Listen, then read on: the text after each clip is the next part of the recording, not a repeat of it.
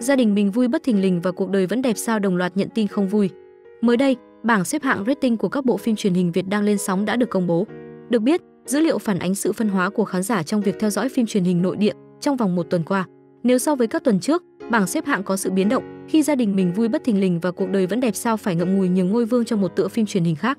Theo đó, phim được xem nhiều nhất tuần qua là Thử thách cuộc đời do đạo diễn Trương Dũng cầm trịch. Phim chạm mốc rating 4.0, vượt qua hai đối thủ mạnh đến từ vũ trụ đài truyền hình Việt Nam, trở thành dự án ăn khách nhất toàn quốc.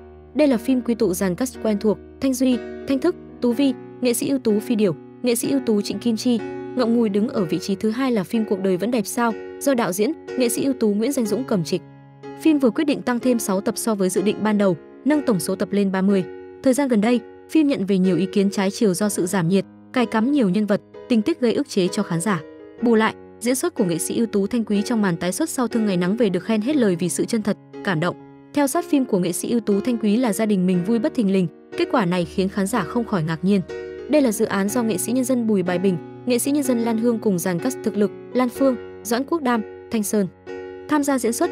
Phim có tỷ suất người xem đạt 3,5%, có dấu hiệu giảm nhiệt so với những tuần trước đó. Trong quá khứ, phim nhiều lần giữ mức rating hơn 4.4, nhưng lần này lại văng xuống hạng 3 chung cuộc. Được biết, tác phẩm về đề tài gia đình mang nội dung chữa lành này còn hai tập nữa sẽ chính thức khép lại. Mong rằng phim sẽ sớm lấy lại phong độ vốn có trong hai tập cuối. Được biết, những con số nói trên sẽ thay đổi theo tuần, cùng với sự xuất hiện của dự án mới, nơi giấc mơ tìm về. Do nghệ sĩ nhân dân Lê Khanh, Lãnh Thanh đóng, đường đua rating chắc chắn sẽ có nhiều sự biến động trong thời gian tới. Đừng quên theo dõi New 24 giờ sao Việt để cập nhật những thông tin mới nhất.